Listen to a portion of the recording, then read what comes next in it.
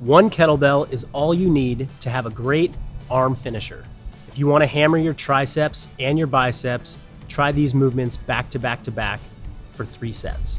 The first is going to be a single arm kettlebell offset push up, six to eight reps per arm. Flip your kettlebell over, grab a narrow grip on the handle, and perform 12 tricep push ups. Then you're gonna stand up and you're gonna perform curls with your kettlebell with three different grips. Something I call the hammer grip, also the horn grip, and lastly the crush grip. Mixing together these tricep and bicep movements back to back with a single kettlebell is a great way to get an arm workout with minimal equipment and you don't need much time.